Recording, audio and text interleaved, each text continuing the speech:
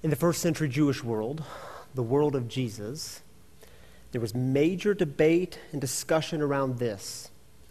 At what age do we begin teaching our children Torah? If we start too soon, they may not be sponge like enough to soak it all in. But if we wait too long, then we might miss that critical opportunity to get the scripture deep inside the bones. And for first century Jews, it was really important for them to get the scripture deep inside the bones of the children because they knew if this didn't happen, they were one generation away from being extinct.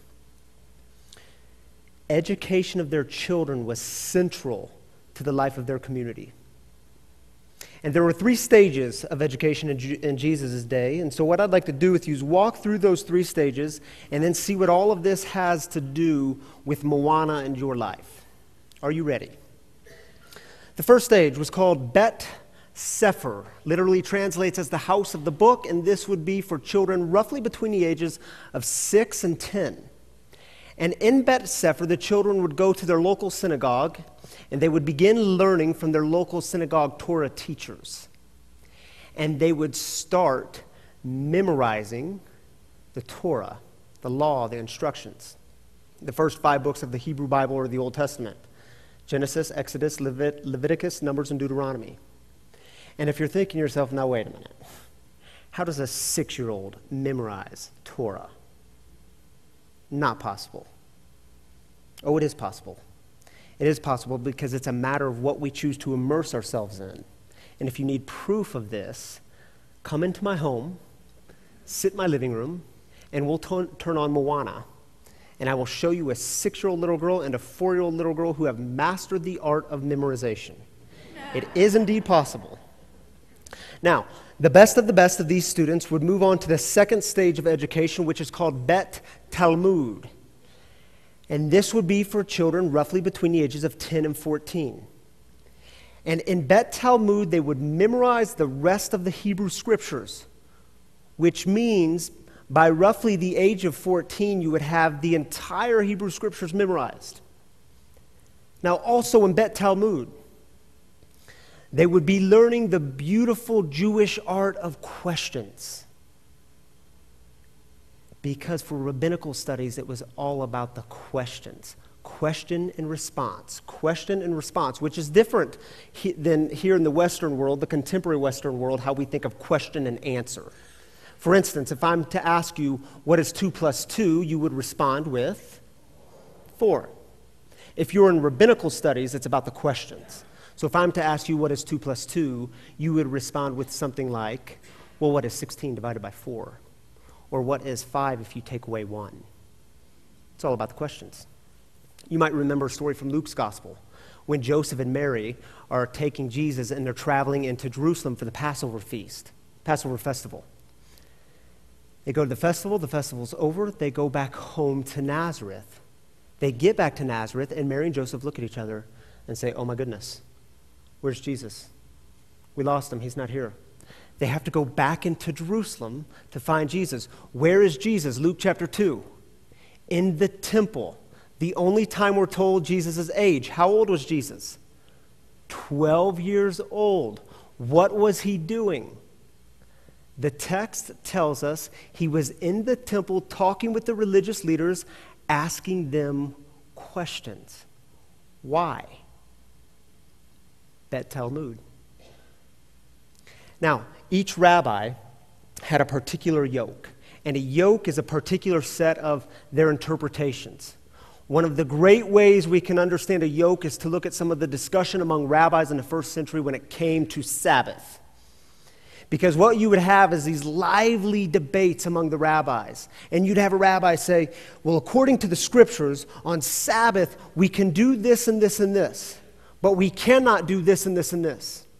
And another rabbi would come along and say, No, no, no, that's nonsense. That's a bad interpretation. Let me give you a better interpretation. When it comes to the Sabbath, according to the scriptures, we can do this and this and this, but we must not do this and this and this. And they would go back and forth. Do you remember what Jesus said about his rabbi, about his, uh, his yoke? Rabbi Jesus says in Matthew's gospel, My yoke is light. It isn't about an endless list of rules. Fascinating, isn't it? The best of the best of the best of these students moved on to that third stage, which is called Bet Midrash. And in Bet Midrash, the student would go to a rabbi of authority and say to that rabbi, I want to be your student. I want to be your Talmud, your disciple. I want to learn your yoke. And then the rabbi would begin firing questions at the student. And the student would respond to those questions and they would be quoting the text back and forth, back and forth, because this rabbi is asking himself, does this student have what it takes to not just learn my yoke, but do they have what it takes to teach and spread my yoke? Now, if that rabbi believed that you had what it takes, the rabbi would look at you and say these words Come, follow me. And in that moment, you would drop everything to follow that rabbi. You would give up your life to be like that rabbi because that rabbi believes you can be like him. If the rabbi would eat, you would eat. And when the rabbi would sleep, you would sleep. And when the rabbi would pray, you would mimic those prayers. Now, the truth is, many, most of the students, were told, I'm sorry. You will not be continuing with me today. You do not have what it takes to be my Talmud, my disciple. So you must go back home and ply the trade, learn the family business. Matthew chapter 4. Hear this story. As Jesus walked by the Sea of Galilee, he saw two brothers, Simon, who is called Peter, and Andrew, his brother, casting a net into the sea, for they were fishermen. Why were they fishermen? They were back home plying the trade. And Jesus said to them, Come, follow me.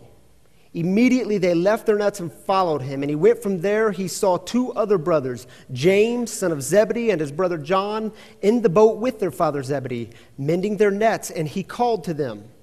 Immediately they left the boat and their father and followed him. Why? I mean, why did these young fishermen drop everything to follow Jesus? Was it because there was some sort of guilt? and baggage that came along with this. Oh, I don't know. Rabbi came along and this dude just said we should follow him, so we left our livelihoods, left our families, and we followed after him. We have no clue what it's about. Or was it because Jesus had some sort of mysterious, glorious glow about him? And they said, Oh, this, this blonde haired, blue eyed Jesus, this one with the great smile, this is the one we need to follow. No. A rabbi came to them and said, You're good enough. You have what it takes. I want you to be my Talmud, my disciple. You don't have to pass all the tests. I want you to come and follow me. I mean, how often do you hear people talk about a sense of calling in their life?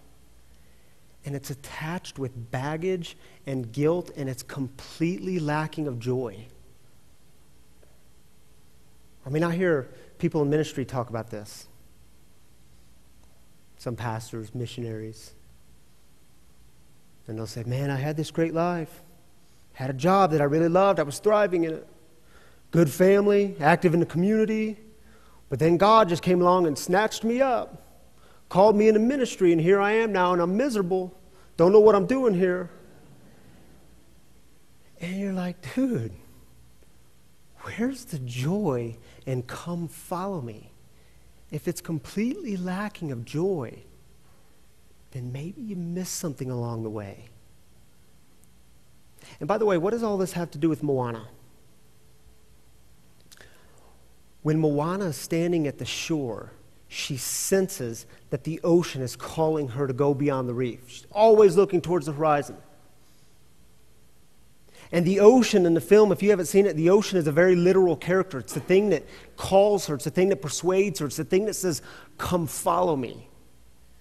And when she decides to follow this thing, it is not out of guilt. It is not lacking of joy. It has, she, she, has joy about it. She has excitement. She even has some fear because she's being called to save her people, to go beyond the reef so that her island can be restored back to fullness and health. And even when life has a way of pulling her away from this thing, the ocean has a better way of pulling her back. Take a look at the scene. What calls you? And have you ever felt like this? Like the thing or the things that are calling you, they just have a way of bringing you back. And if that's you, go with it. Go with it. If there's energy there, go with it. Because that's where real joy is found. That's where life is found. And I wonder if God is always, constantly calling us to come follow me. Come follow me. Is God constantly calling us beyond the reef, beyond the place that's safe and comfortable and secure? A couple of observations about this idea of calling. When it comes to your calling, you might have a hundred reasons of why you shouldn't follow this thing, why you shouldn't go after it. There might be people in your life, like Moana had in her life, people that say to you, no, no, no, no, this isn't the way we do it. This isn't the way our people operate. This isn't how we do it. You can't go beyond the reef. You need to stay where it's safe and secure. You might have institutions in your life that say the same message.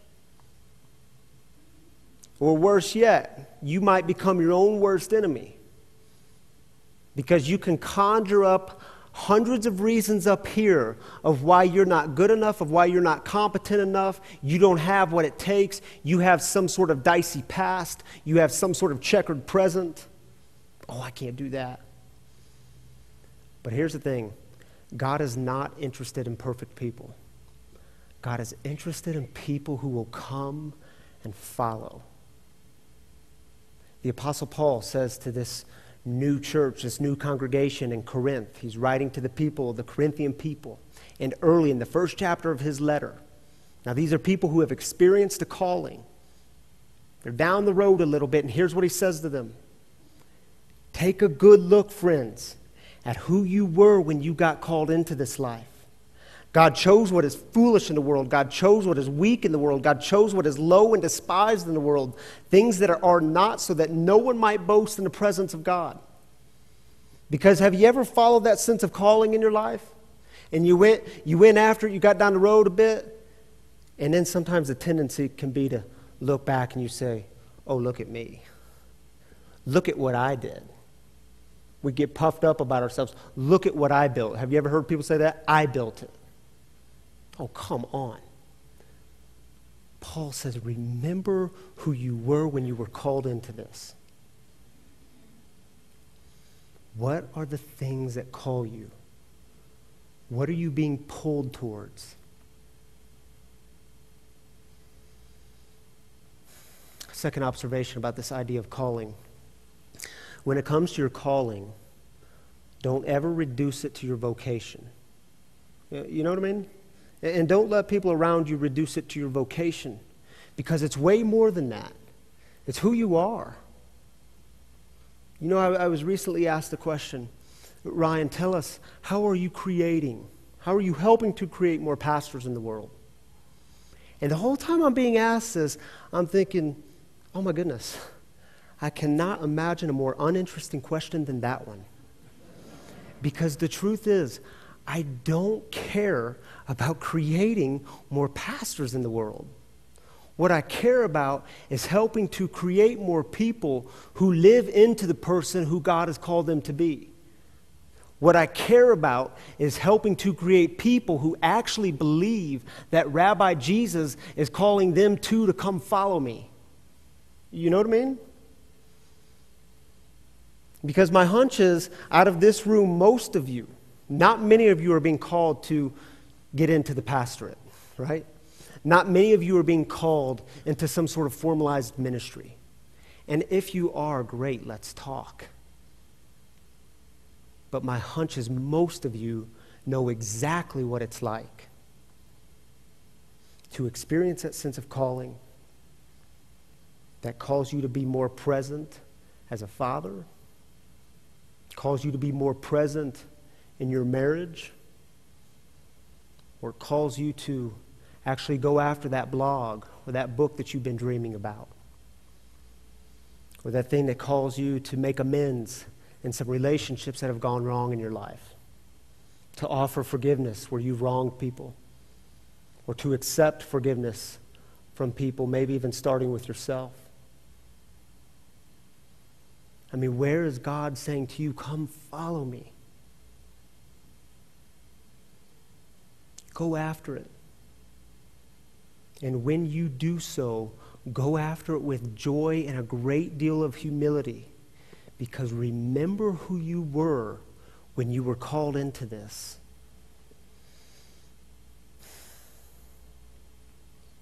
And can I speak for just a moment about the power of naming it?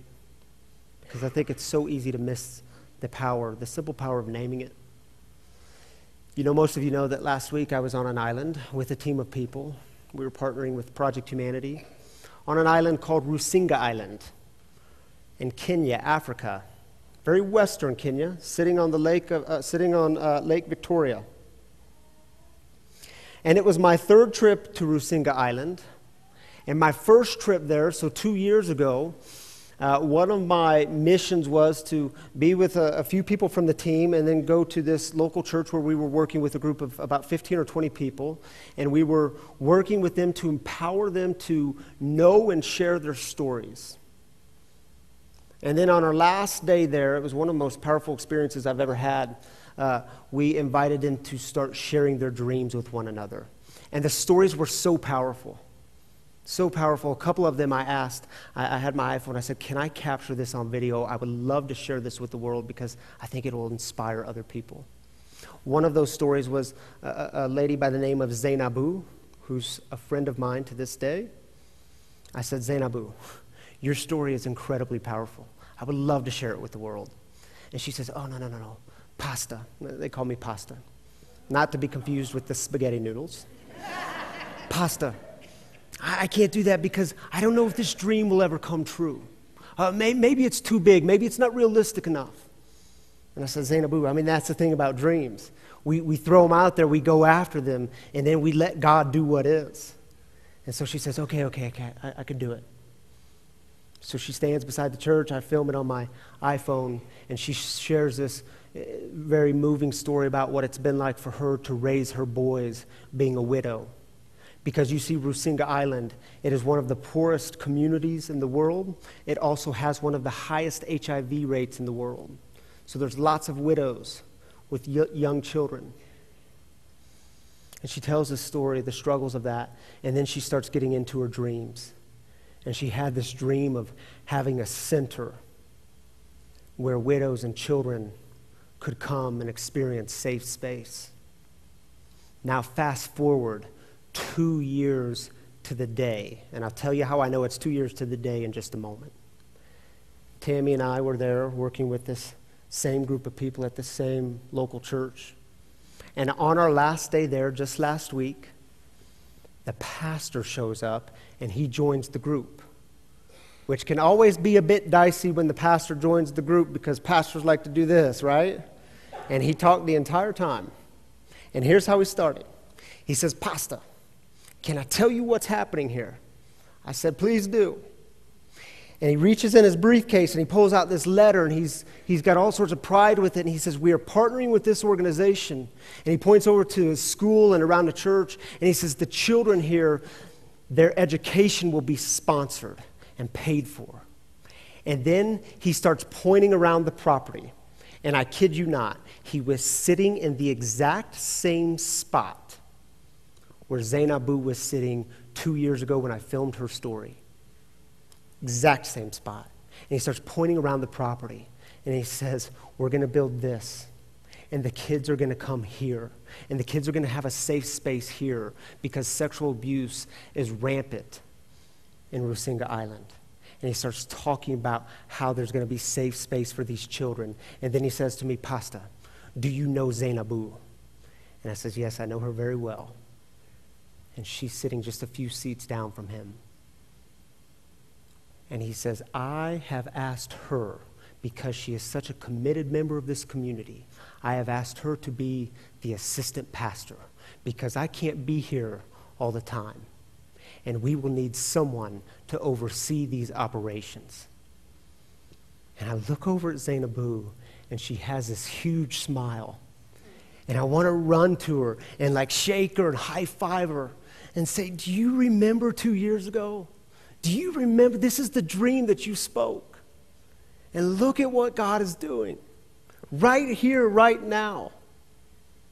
And how do I know it was two years ago to the day? Because when we got back to our lodging later that afternoon, I opened my Facebook app. And it said, two years ago on this day, this is what you were doing. And it was her video. I mean, come on. My brothers and sisters, what are you being called towards? What are the things that pull you? Where is God saying to you, Come follow me? You don't have to have it all figured out. You don't have to have all the steps figured out. You just got to take the first step. You don't have to have a perfect past or a perfect present. It was Rabbi Jesus who went to fishermen who didn't pass the test and said, Come follow me. Go after it with joy and humility. And remember who you were when you were called into this. And when doubts arise, and you give yourself a hundred reasons of why you can't do this thing, and you start asking the questions of, oh, why, why is God choosing me? If God is so powerful, why can't God just do it on his own? Why does God need me? Wrong question. Uninteresting question. The better question is God is calling you. What are you going to do with it?